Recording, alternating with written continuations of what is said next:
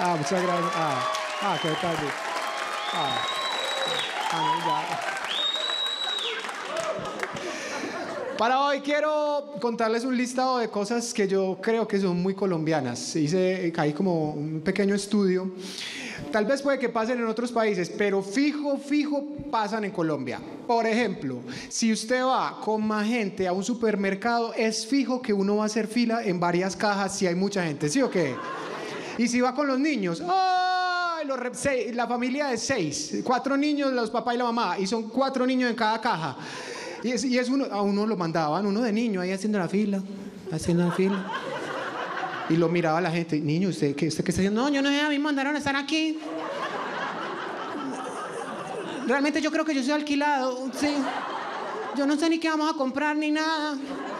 ¿Sí o qué? Porque uno de niño, ahí lo ponían ahí en la caja y cuando ya por fin iba a llegar, ay, vení, vení, vení, vení, vení. Y llega y llega con ese, porque la gente que hace fila en varias cajas no llega con dos artículos. No llega con unos tomáticos y una leche. Ay, buenas, ¿cómo está? No, la demás gente de la fila tiene que ver cómo llega con el carro para ver, porque mercado para una pandemia, para todo el año. Pucha, ese carro lleno y uno, ay, vida, verdad, acá. Cosas muy colombianas también creo yo es la gente que en moto compra casco verde limón policía. ¿Han visto? ¿Han visto? El susto que le da a uno ver un casco de esos. Yo, ando en moto. Yo ando en moto. Cuando veo el retrovisor un casco verde, yo, ay, ay, Dios mío, ay, Dios mío. Ay, Dios mío, la policía. Ay, yo traje los papeles. No, yo no traje nada.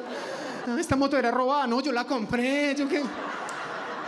Cuando pasa y uno, ay, no era policía, era un fletero, qué susto.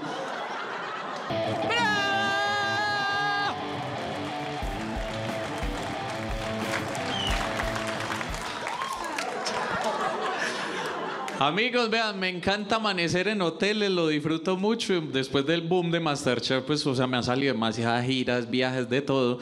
Pero así como uno encuentra hoteles bacanos, hay algunos que son medio pelles y y vengo a dar un testimonio de una persona que sufre con algunas cosas de los moteles. ¿Eh? Es que moteles, hotel. ¿Eh? La costumbre. Eh, no, los hoteles, hoteles. Hay cosas en los hoteles que no las entiendo. Por ejemplo, la mayoría de los hoteles tienen secador. Y ustedes han visto las medidas de seguridad que tiene sacar ese secador. O sea, que le ponen como una cabulla, una clave y uno fue pues si no quiere que lo use, quítelo, ¿no? Marica, porque llegar a ese secador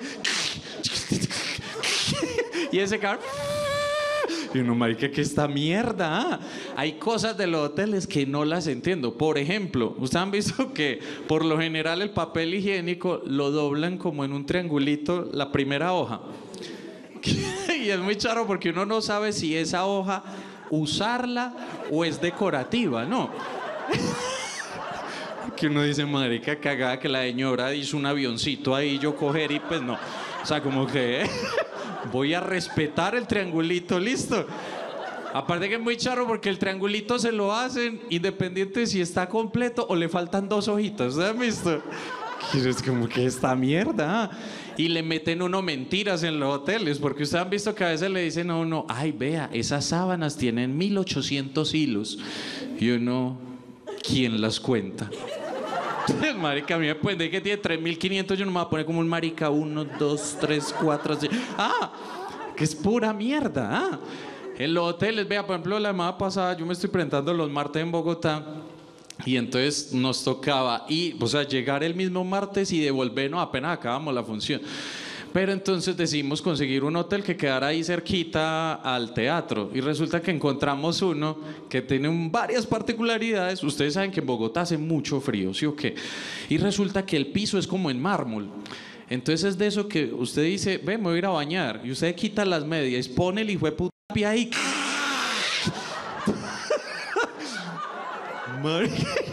¿Quién le ocurrió que el mármol es buena idea en Bogotá? Y yo como un marica ya. ¡Ah! ¡ah! llegué al hijo de baño y yo no, me voy a bañar con tenis. qué ch... Pero uno el Venga, porque llega uno como toda huevo allá toda. Gracias, gracias. Yo, yo no sé si alguno de ustedes se ha preguntado por qué cuando uno está enfermo y por qué a los enfermos, cuando uno va y los visita, no se le ocurre sino llevarles frutas. Qué regalo tan harto.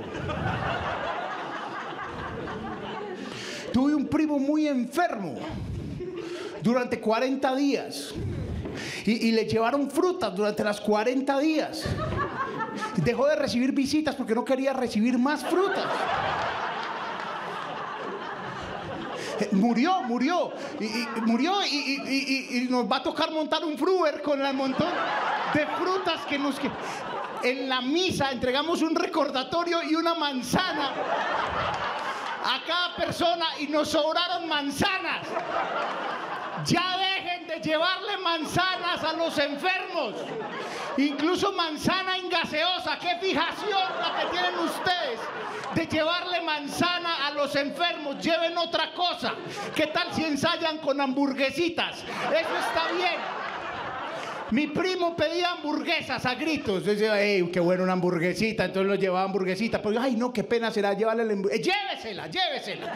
Si se la devuelve, porque si al enfermo también le da pena, no, qué pena decirle que qué gonorrea más, más fruta. Llévesela. O en su efecto, lleve el efectivo. Siempre será un buen regalo. ¿Qué me trajiste? Cinco luquitas.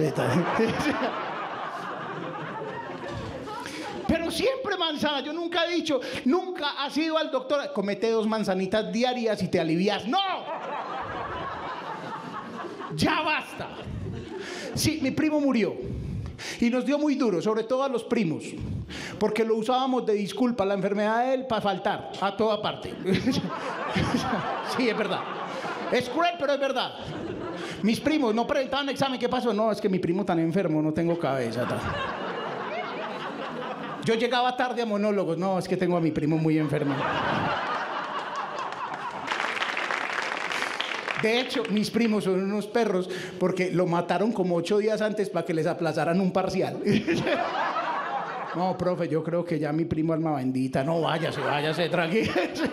Eso, eso no tiene perdón de Dios. No tiene perdón de Dios. Y lo, acompañamos, lo acompañamos, eh, eh, lo acompañamos. Y, y no, hubo un momento en que nos dijeron que no había nada más que hacer. Y entonces él dijo, quiero comerme una hamburguesa.